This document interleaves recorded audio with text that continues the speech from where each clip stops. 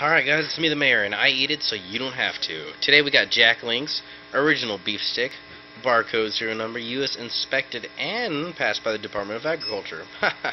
yeah, alright, it's probably made in China, I don't know.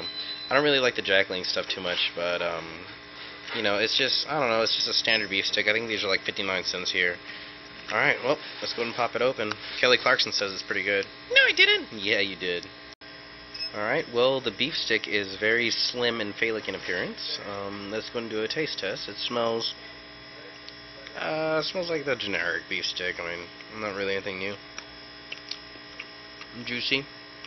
Has a little bit of crunch. I think it's got some bones in it or something. not too bad.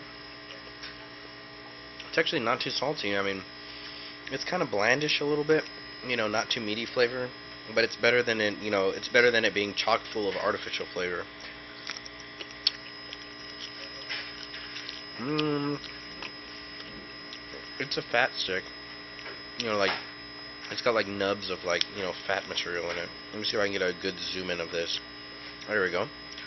See, as you can see, there's a lot of white around it. So, you know, expect it to be a little bit greasy.